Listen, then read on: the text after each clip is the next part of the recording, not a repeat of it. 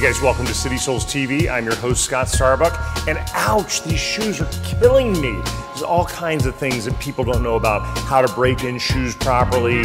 And uh, they get a great pair of brand new shoes and they wear them. They get blisters on their feet and their toes hurt and all kinds of stuff. First off, you know, in the summertime, I love wearing shoes barefoot. But when I get a brand new pair of shoes, I'm gonna wear socks with them for the first time for sure. I'm not gonna put on a brand new pair of shoes barefoot unless they're like a super supple, soft moccasin or something like that. A lot of people's heels get hurt and rub in the back. every shoe has what's called a heel counter in it, and I like to take that heel counter and break it down soften it a little bit with my hand. Even on like even uh, uh, casual canvas shoes, it'll make a difference. Do this about 20, 25 times on each shoe. That'll definitely soften the inside of it. Even on like harder leather shoes, I'll do that. I'll break down the heel counter a little bit. You don't want to destroy it, um, but you just want to soften it and get it pliable and moving with your uh, foot.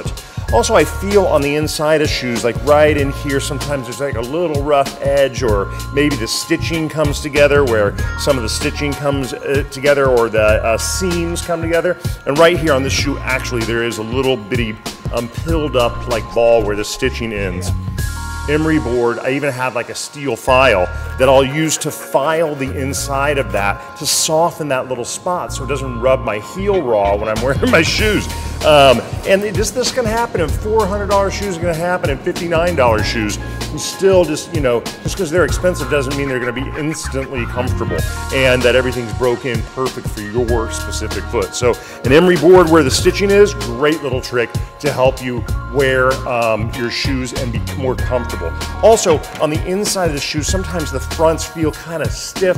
I like to break down the uh, instep and the sole a little bit by doing this like 20 times. Just, just soften it, loosen it, and then put them on. Don't make your foot do all the work when you can just kind of soften it up and loosen it up yourself by breaking down the sole and the instep and, and even your arch in here too heel counter, sole, all kinds of great stuff here.